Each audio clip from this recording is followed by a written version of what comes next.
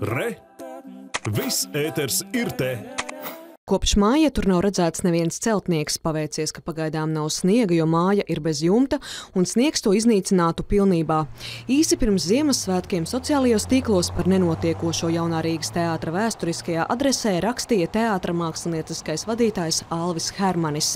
Decembrī filmēti arī šie kadri, kurus teātris tuvākajās nedēļās grasās publiskot īpašā akcijā. Un tagad tas sniegs nebija, paldies Dievam, bet sniegs, kur katru brīdi var sākties. Ir pilnīgs kaputs tai mājai. Nu, viss, ko es varu pateikt, ka Lāčplēša ielā 25 šobrīd stāv un kādu laiku stāvēs piemineklis visai Latvijas birokrātiskās sistēmas neizdarībai. 2018. gada beigās apturēja darbus teātra ēkas pagalmā, jo parādījās plaisas blakus esošajās mājās. Pērn jūlija beigās pasūtītājs valsts nekustamie īpašumi līgumu ar būvnieku pilnsabiedrību Rērē Būve 1 lauza, tam sekoja tiesāšanās par līgumu, bet gada beigās panākts mierizlīgums. Pārbūves projekta autore Zaiga Gaila jau vairāk kārt norādījusi uz gausajiem projekta attīstības tempiem. Protams, ka tas ir briesmīgi.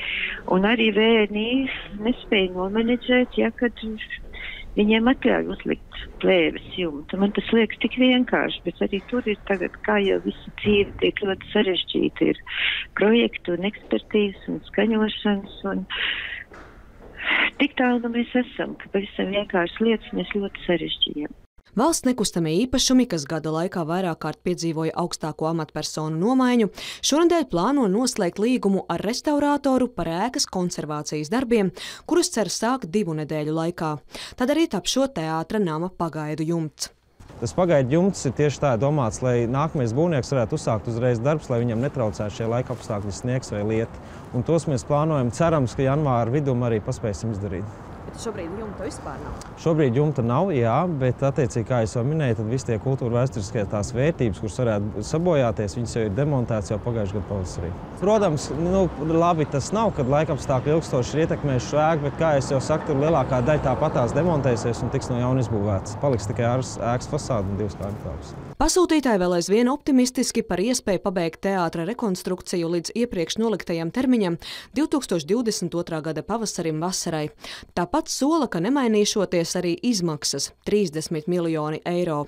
Janvāra beigās atvērs piedāvājumus, līguma parakstīšana ar jauno būvnieku prognozēta aprīlī, bet celtnieku rosība Lāčplēša ielā varētu atsākties jau maijā. Nu, šobrīd mēs esam izdarījuši visu maksimumu, lai šis nākamais posms būtu veiksmīgāks, jo mēs esam uh, mainījuši šo pieeju. Uh, nav vairs bū, būvē, bet būs būvē un projektē, kas nozīmē, ka viss atbildība būs nolikta kā vienā pusē, būvnieku pusē. Viņš uzņemsies atbildību par visiem šiem risinājumiem. Ko stāsta visi tie cilvēki šlicēs un runāties guldījos apaļajos teikumos, tajos ierēģiņu teikumos, es, es to neņemu pārāk ilnu arī tā visu ņemšanās viņiem ar tā, visādām komisijām un sapulcēm un mēnešiem ilgi.